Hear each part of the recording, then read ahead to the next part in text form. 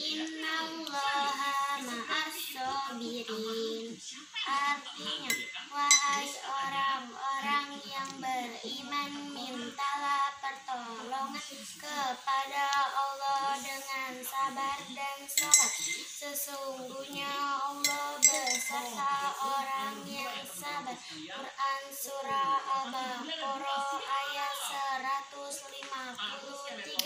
صدق الله العظيم